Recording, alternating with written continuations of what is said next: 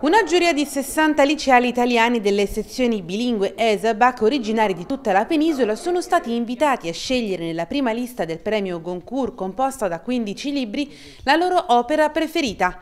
La lista Goncourt, la scelta dell'Italia, è un progetto immaginato dall'Institut Français d'Italia e realizzato in associazione con l'Académie Goncourt e il Salone del Libro di Roma Più Libri Più Liberi.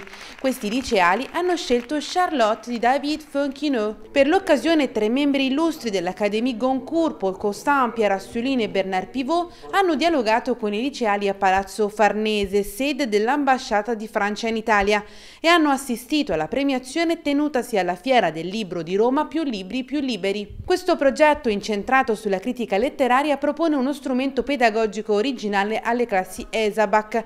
Inoltre contribuisce a promuovere la letteratura contemporanea di lingua francese in Italia.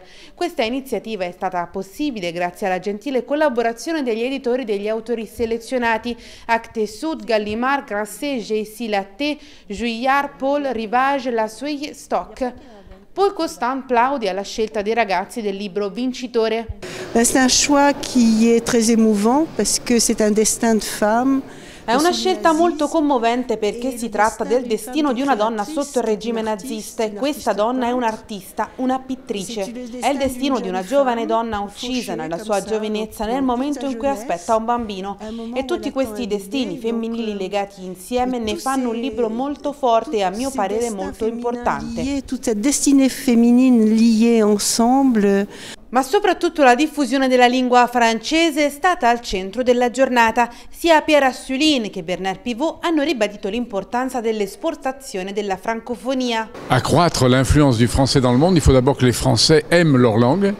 Euh, beaucoup l'aiment, mais d'autres pas assez. Et que la prima cosa sarebbe che i francesi amino la lingua francese, molti la amano ma altri non l'amano abbastanza. Un'altra cosa sarebbe quella di smettere di usare parole americane nella lingua francese. Si deve avere rispetto per la nostra lingua, l'amore della nostra lingua e lo Stato deve impegnarsi nella lingua, investire nella cultura francese, nei portavoce della lingua all'estero, cioè negli istituti français, le ambasciate, i licei francesi. Deve continuare questa azione, non diminuire i crediti che sono destinati all'azione della lingua francese e della cultura francese all'estero. Purtroppo questi crediti diminuiscono ogni anno da 5 anni e questo è un peccato. Dobbiamo continuare a lavorare e militare per la lingua francese all'estero e allo stesso tempo i francesi devono dimostrare che amano la loro lingua. de militer de, pour la langue française euh, à l'étranger et en même temps que les Français continuent de prouver qu'ils aiment leur langue. Pour augmenter la diffusion de la langue française, je crois que ce qui est indispensable, c'est de bien prendre conscience. Credo che quello che sia indispensabile è prendere coscienza che la Francia ha la più importante rete culturale all'estero. La prima al mondo, prima degli Stati Uniti, del British Institute, dell'Istituto Cervantes, la prima del mondo grazie all'Institut Français e alle Alliances Françaises sono dappertutto. Vorrei che ci fosse una volontà politica in Francia che dia i mezzi economici e finanziari per sviluppare e sostenere questa azione straordinaria della rete culturale francese all'estero. È una base che non si deve perdere perché è grazie a questa che la francofonia è viva e si svilupperà ancora di più. Parce que c'est une place qu'il ne faut pas perdre, car c'est grâce à ça que la francophonie est vivante et qu'elle va se développer encore plus. L'incontro è stata anche occasione per dibattere sul ruolo della letteratura francese al giorno d'oggi, sull'importanza che hanno i social network e i libri digitali. Per Pierre Assolini in particolare il libro digitale rappresenta una vera e propria rivoluzione culturale.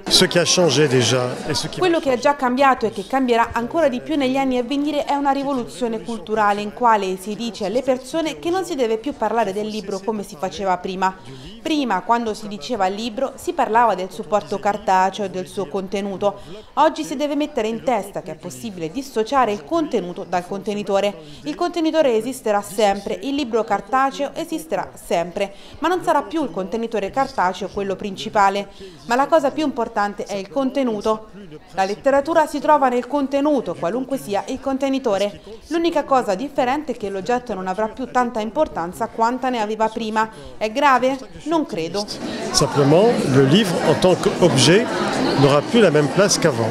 Est-ce que c'est si grave Per lo scrittore e conduttore televisivo Bernard Pivot, il fascino dei social network consiste soprattutto nell'esercizio di sintesi che ti costringono a fare. Je suis très actif sur Twitter.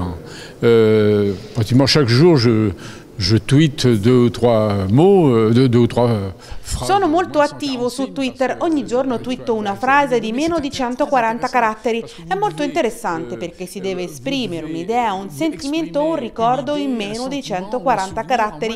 È un esercizio molto interessante, un modo di domare le parole, di riuscire ad articolarle con umorismo e con forza in pochi caratteri. È un esercizio di stile molto buono. Penso che ci si possa esprimere su Twitter rispettando la nostra lingua, giocando con la lingua francese.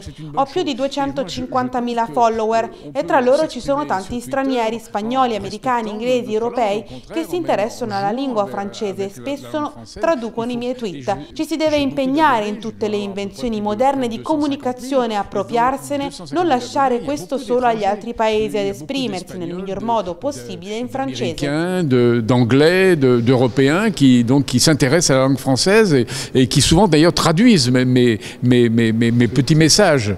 La presenza della Francia alla Fiera Più Libri, Più Liberi svoltasi dal 4 all'8 dicembre 2014 è stata quest'anno di grande rilievo. Il pubblico italiano ha potuto infatti incontrare numerosi e importanti autori francesi contemporanei come Chalandon, Philippe Fauré, Céline Minard, Olivier Roy, Jean-Christophe Ruffin.